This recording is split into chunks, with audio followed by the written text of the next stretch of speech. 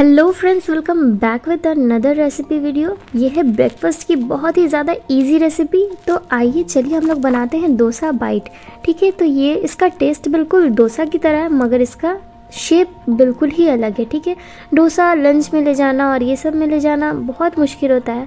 तो आप डोसा बाइट्स खा करके ज़रूर देखिए। इसके लिए मैंने लिया है चावल, चूड़ा और मेथी। जिस क्वांटिटी में आप लोगों ने चावल लिया है, उसी क्वांटिटी में आप लोग उड़द दाल भी लीजिए। और सबको सोख करके रख के, पीस के मिक्सचर बना लीजिए, ठीक है? मिक्सचर की उस टाइप की कंसिस्टेंसी होनी चाहिए, जैसा मैंने वीडियो में दिखाया है। और इस टाइप के पनियारम पैन में थोड़ा सा ऑयल ग्रीस करके सबको हाफ़ फिल्ड कर दीजिए, ठीक है? हाफ़ फिल्ड इसलिए करना है क्योंकि हमको बीच में इसका मसाला भरना है, जिसे हम लोग आलू का स्टफिंग बोलते हैं। तो वो आलू इसके अंदर भरना है, क्योंकि डोसे के बीच में भी आलू रहता है, ठीक है? तो सबको फटाफट से हाफ़ फिल कर देना है और ये बहुत ही अच्छा बहुत ही इजी है और एक बार में बहुत सारा बन जाता है तो ये भी बहुत अच्छा है। डोसा के लिए एक बनने के बाद आपको दूसरे का वेट करना पड़ता है। तो आप छोटे छोटे आलू के बॉल बना करके सबको प्लेस कर दीजिए इसके सेंटर में ठीक है? फटाफट से आ, सेट कर दीजिए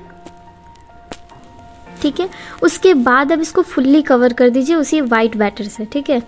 और इसको पकने दीजिए और मेक श्योर sure इस सारे प्रोसेस के बीच में आपका फ्लेम बिल्कुल लो रहना चाहिए। नहीं तो डोसा अंदर से, डोसा बाइट अंदर से कच्चा रह जाएगा और बाहर से जल जाएगा, ठीक है?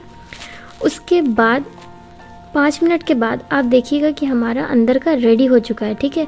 और इसे निकालना तो बहुत ही ज़्यादा आसान है। पहली बारी में बस थोड़ी सी मेहनत लगती है। देखिए, बिल्कुल ईजिली निकल गया। आगे का उससे भी ज़्यादा इजीली निकल जाएगा, ठीक है? क्योंकि हम लोगों ने स्टार्टिंग में ऑयल से ग्रीस किया था, पूरे पैन को इसीलिए। तो फटाफट से सबको पलट लेना है। देखिए किस तरीके से एकदम बहुत ईजिली निकल जा रहा है। और ये खाने में बहुत ही टेस्टी होने वाला है, बहुत ही टेस्टी इससे आप सांबर के साथ, नारियल चटनी के साथ, किसी के भी साथ खा सकते हो। अगर आपको सांबर की रेसिपी नहीं पता है तो मेरे डोसा वाले वीडियो को जा करके विज़िट कीजिए और उसमें आपको टिपिकल सांबर की रेसिपी मिल जाएगी, ठीक है? तो इसको अच्छे से पलट लीजिए। पलटने के बाद भी दो मिनट लो फ्लेम पे इसे पका लीजिए, ठीक है? ताकि वो पीछे साइड से भी अच्छा पक जाए। और दिखने में तो ये बहुत ही ज़्यादा अच्छा लग रहा है और ये बहुत ही ज़्यादा यूनिक रेसिपी है, ठीक है?